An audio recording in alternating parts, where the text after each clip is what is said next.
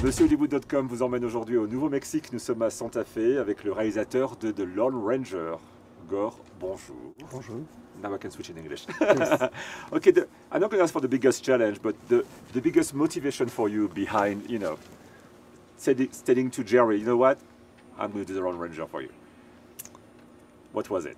I think it was really the, the, the idea of exploring this relationship between these two characters. I mean, I knew everything, train sequences and the William Tell overture and all of that. I knew, I knew I was going to have to get to all of that and figure that out. But I think um, initially it was, um, you know, I wanted to I wanted to have Johnny play Tonto, and I know that that was going to tip things out of proportion. He's a sidekick, and uh, in the in the original series, a sidekick, and and how to make him more relevant, and then the idea of of um, telling it from his perspective, and that was exciting to me. So I think that that was really my way in. It's like, okay, we're gonna. You've all heard the story of the Lone Ranger, but this time you're going to hear it from the guy who was there. Was it tricky to uh, uh, cast uh, Armie's character?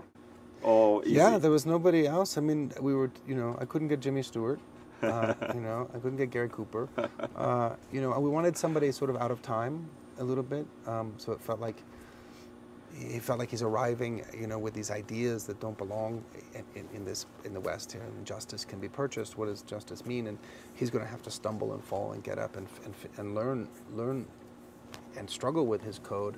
Um, so, yeah, finding somebody who, who could be slightly blindly optimistic. And, and when you meet Armie, Of course, oh of my course. God, yeah. he's like, I need to ask you also about Ruth Wilson because at one point in the movie she reminded me of a, a Keira Knightley in Pirates. You know, she has that charm about her, that mystery about her.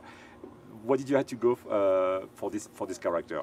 well, you know, she came in and read, and uh, look, she's just an amazing actor. I mean, she's amazing. She came in, read for the part, it was done. That would like wrap it up. She's perfect. um, and I think she has such an extraordinary range.